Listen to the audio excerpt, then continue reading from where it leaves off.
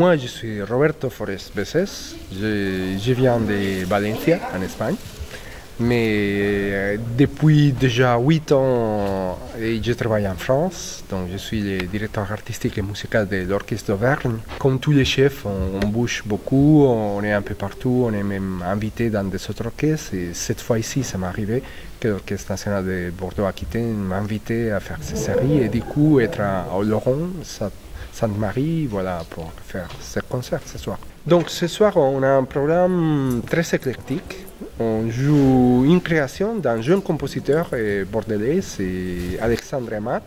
Il est, il un étudiant du conservatoire.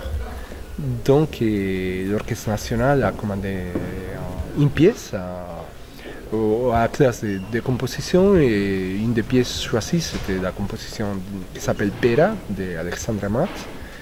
Ça, c'est la première, la, première pièce du concert. Ensuite, on va jouer le concert Schumann pour violoncelle et orchestre.